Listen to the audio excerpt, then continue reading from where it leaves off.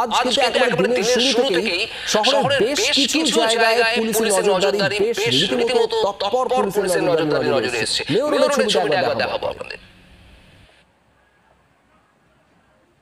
পুলিশের নিশ্চিদ্র প্রহরা। ইতিমধ্যে মেয়র গান্ধী মূর্তির পাদদেশে পড়ে গেছে ব্যারিকেড।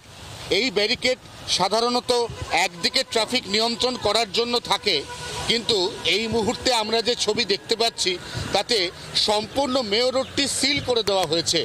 এর অন্যতম বড় কারণ, আগামীকাল তৃণমূল ছাত্র পরিষদের এখানকার প্রোগ্রাম, যাতে সেই প্রোগ্রামে কোনোভাবেই আজকে নবান্ন অভিযানকারী ছাত্র সমাজের কোনো প্রতিনিধি, কোনো সদস্য ঢুকে পড়তে না পারেন, তাই জন্য কোনো রকমের ঝুঁকি এড়াতে এই মুহূর্তে সম্পূর্ণ সিল করে দেওয়া হয়েছে মেয়র রোড।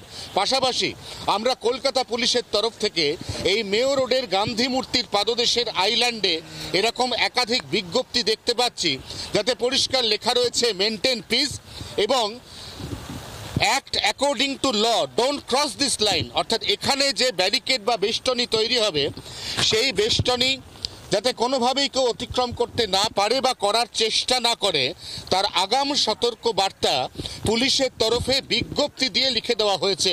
এবং এই বিজ্ঞপ্তি শুধুমাত্র এখানে নয়, ধর্মতলার ডরিনা ক্রসিং থেকে শুরু করে মেয়র রোড হয়ে যে রাস্তা সোজা চলে গেছে রাজভবন পর্যন্ত, সেই রাস্তা দিয়ে হেস্টিংসগামী রাস্তা এবং বিদ্যাসাগর সেতুগামী সমস্ত রাস্তাতে ঠিক একই ধরনের পুলিশের বিজ্ঞপ্তি চোখে পড়ছে।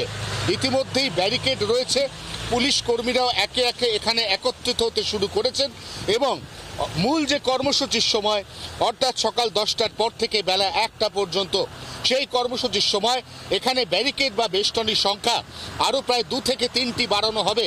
এমনটাই এখনও পর্যন্ত পুলিশ সূত্রে খবর জি চব্বিশ ঘণ্টার জন্য। ক্যামেরায় তরুণের সঙ্গে অয়ন কলকাতা ছাত্র সমাজ, যাদের ডাকে আজ এই নবান্ন অভিযান। তাদের কি বক্তব্য? শোনাবো।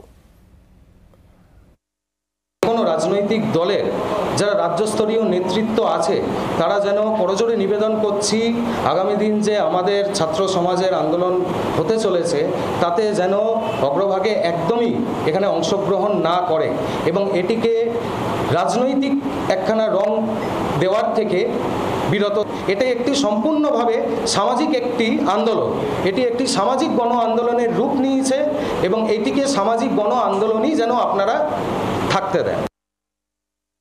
তো আগের দিনকে এবং আপনাদের মাধ্যমেই তো বলেছি যে আজকে পশ্চিম বাংলার যে পরিস্থিতি আছে, সেখানটায় দাঁড়িয়ে আমাদের যে এই গণ আন্দোলন, সেটারও যেমন গুরুত্বপূর্ণ, সেরকমই আমি সমস্ত ছাত্র সমাজের এবং শুভবুদ্ধি সম্পন্ন নাগরিকদের কাছে অনুরোধ জানিয়েছিলাম যে যারা নেটের জন্য ভাবনা চিন্তা করছেন, যারা নেট পরীক্ষা কালকে দিতে চলেছেন, কালকে অবশ্য রিজার্ভ ডে আজকে যেহেতু ছুটি আছে, তার জন্য কালকে রিজার্ভ ডেতে হয়তো পরীক্ষাটাই হচ্ছে। তো দু শিফটে পরীক্ষা হবে, তাদেরকে আমরা আগ্রহ প্রকাশ করেছিলাম যে এই আন্দোলনটাকে তারাও যেন নৈতিকভাবে সমর্থন করেন এবং তারা যেন পরীক্ষা কেন্দ্রে ফার্স্ট শিফটেই চলে যায়, যারা সেকেন্ড শিফটে পরীক্ষাটা দেবে।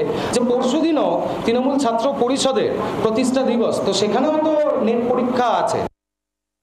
গণ আন্দোলন, একখানা ছাত্রদের শান্তিপূর্ণ আন্দোলন।